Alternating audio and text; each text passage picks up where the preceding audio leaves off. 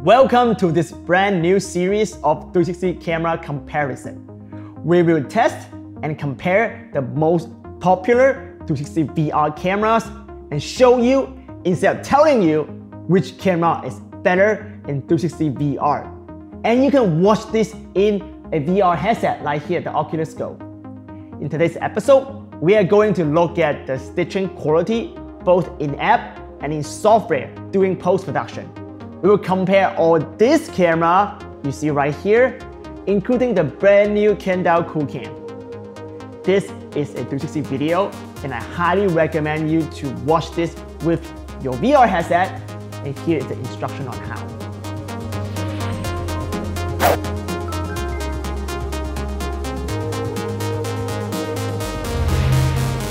Hey, what's up everybody? It's your boy Hugh here from Creator. If you are wondering what camera I'm shooting this right now, I am shooting this with the Entaniya HAL 250 fisheye lens with the Panasonic GH5.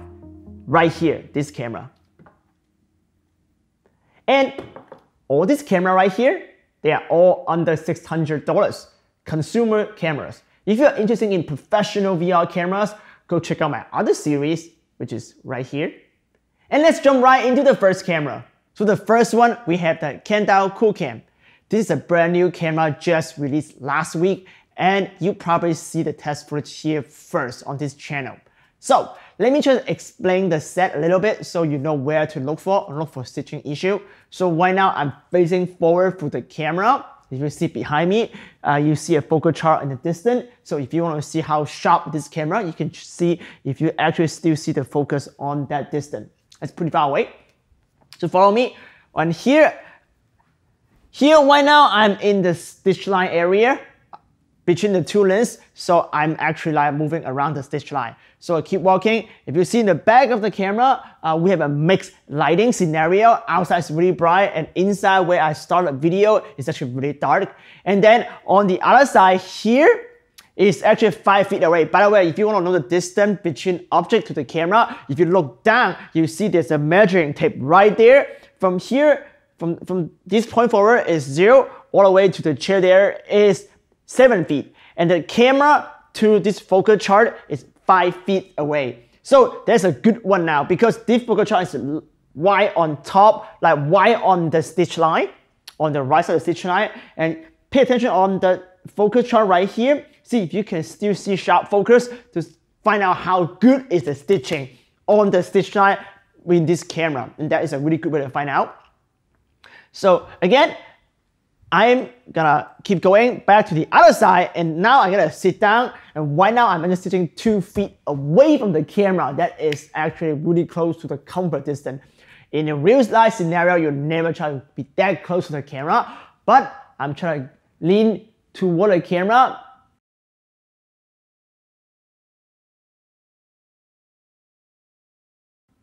Now I'm touching the camera and lean back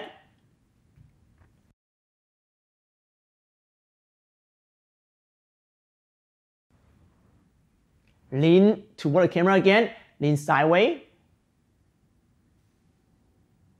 So pay attention to my face to see if my face got cut off, if there are optical flow artifacts, and all the other problem. So now you see how good is the stitching of this camera.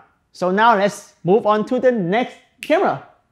Next up, we have Rylo. This is a new camera to me because I just got this camera. So again, look at me, look at the distance, see the focal chart over there, see how sharp is this camera, and follow me around and walk to the stitch line area. So right now I am in the Rylo stitch line area. Move around and see how good is the stitching in about five feet away from the camera.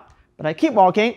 Now I'm in the really bright area. If you look at outside, again, uh, it's a mixed lighting scenario. Outside is really bright, indoor is kind of dark. But the best way to look at the image, the stitching quality of Rylo is actually right here.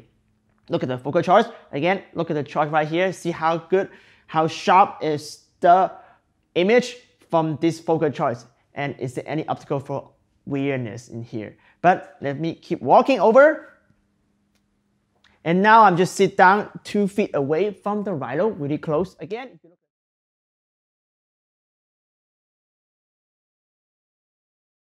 distance, you can look down to actually see the measuring tape right here to see the distance between uh, the subject and the camera. But again, now I'm going very, very close to the Rylo, touching the Rylo.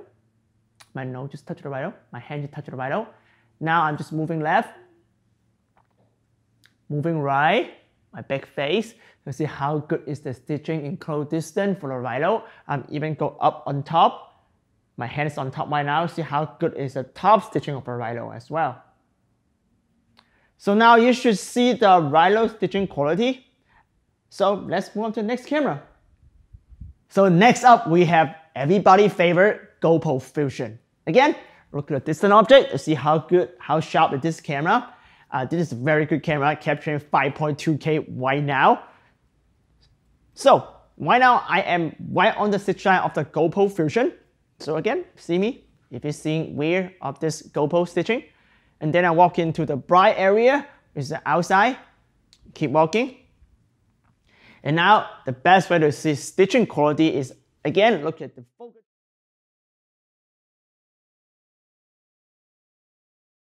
Right here, right on the stitch line, and check out how good is the focus on this chart and see how sharp is the image and continue walking. Circle back. Right here, I'm gonna sit down two feet away. Again, look at the measuring tape right here. Two feet away from the camera. Just look at the camera, smile. And slowly lean into the camera. So close. And touching the camera with my nose. Now very still very close. I gonna left,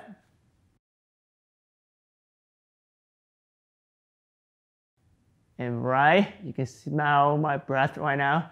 You can really smell in the virtual reality, right? Okay, so that is the GoPro Fusion in stitching. So let's move on to the next camera. Next up, we have the Yi, which is among all these cameras I just test, shot the highest resolution. It's 5.7K to 60 mono video. Again, look at the distance chart to see how sharp is this camera. And then follow me again and go to the stitch line area. Right now, I'm right on the stitch line. As you see, go left and right and see how good is the stitching. And then I keep walking to a challenging outside scenario right here, which is really bright. So look at how good is the mixed lighting scenario of this camera.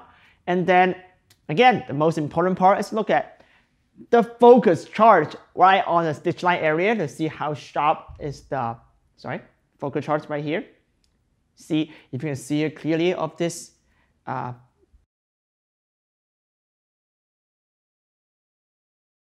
resolution chart. And then I'm gonna go sit down right here again, two feet away from the camera. Look at the camera smiling.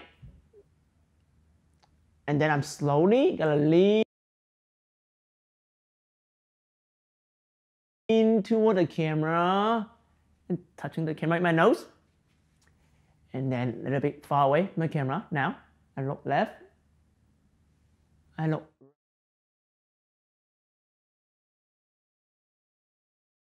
right, and then lean back. See how good is the stitching of the E. Okay, so now you see the E, let's move on to the next camera. The next one, we have, again, another everybody favorite camera, the Insta360 which is very affordable and also really great camera and really small camera as well. So again, look at the fur distance to see how good is the focus in the distance. And again, I'm keep walking into the stitch line area on the left stitch line of the Insta360 Moving around, see how good is their optical flow stitching. And now I walk into the line. So I am probably blown out right now because the outside is really light. So I keep walking over here. Again, look at the focus chart.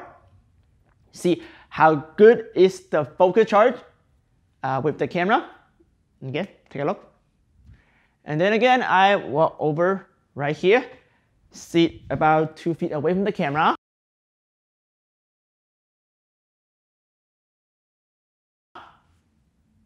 And then slowly lean toward the camera touching the camera with my nose, and then lean left, lean right, lean back. Okay, now so you see the stitching, the optical flow stitching of the Insta360 ONE. So let's move on to the next camera.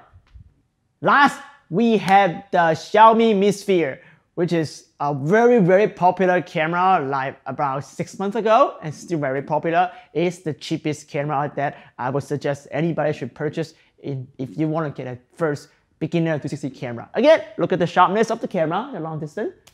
Walk into the stitch area. This camera is really skinny, so the stitch is actually really good, supposed to be, but I'm still to look around. And then you see the stitch area. Again, walk into the really bright area under the sun. Make exciting scenario. Keep walking.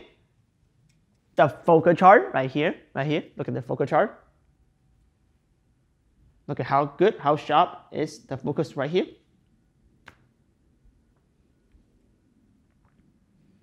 And then again, sit down on the chair and lean toward touching the camera. Great. You got lean left, lean right. Okay, lean back. So now you should see how good is the stitching of this camera now. So in conclusion, all cameras tested have some sort of optical flow artifacts.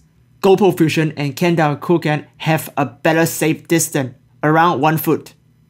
The Fusion arguably has the best safe distance and you can go closer than 1 foot, which is very impressive consider the thick body the camera has. The Rylo come close third and the Yi is number 4. For Insta360 ONE and Mi Sphere, you will need to stay more than 3 feet away from the stitch line to avoid the stitching problem. And Mi Sphere seem to be more than 5 feet.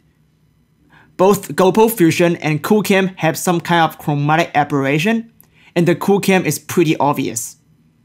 In terms of sharpness, Rylo and Fusion are very sharp around the stitch lines, but they do not handle motion very well. If you have a moving object around stitch line, even the object is far away if it causes some kind of optical flow artifacts. And E and Insta360 ONE is worse, as motion causes ghosting and very slow auto correction time. So overall, I think Fusion and Qoocam has the best stitching. Rylo come very close except the weird optical flow drifting. Yi is not bad.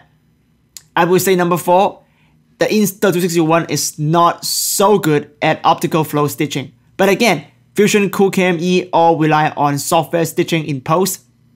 Insta360 ONE is using a mobile phone to stitch. So if you are talking about mobile stitching, Rylo definitely is the best.